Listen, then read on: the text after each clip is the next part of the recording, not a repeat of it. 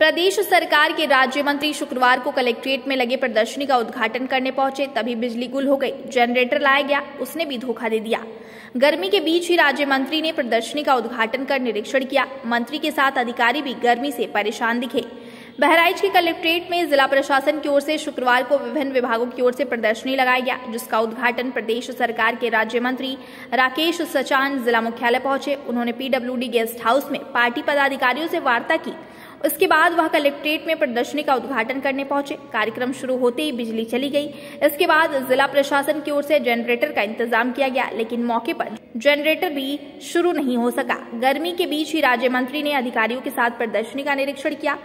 स्वास्थ्य, कृषि, शिक्षा, बाल विकास, आजीविका मिशन समेत अन्य विभाग की ओर से प्रदर्शनी लगाया गया इस दौरान सदर विधायक अनुपमा जायसवाल, प्रयागपुर के सुभाष त्रिपाठी, बल्हा सरोज, सोनकर जिला अध्यक्ष श्यामकरण, जिलाधिकारी doctor Dinesh Chandra, CDO Kavita Meena, CMO doctor Satish Kumar Singh, जिला कृषि अधिकारी समेत अन्य विभाग के अधिकारी मौजूद रहे। कानून व्यवस्था पूरी तरह से नियंत्रण में है और अभी कानून व्यवस्था पर हमारी पूरी तरह से यहाँ चर्चा हुई, बहराइच जनपद में।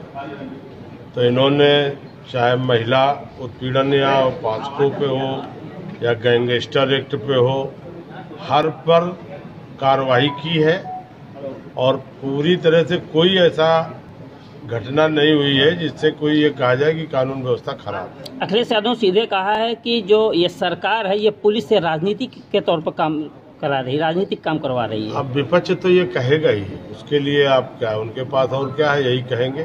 प्रयागराज कोर्ट ने कहा है कि जो लाउड स्पीकर है, या इस, इसको लगाना मुस्लिमों के लिए कोई संवैधानिक नहीं इस पर क्या कहना चाहेंगे? अब ये तो दिशा निर्देश ऊपर से आ ही रहे हैं, उसी हिसाब से काम होगा।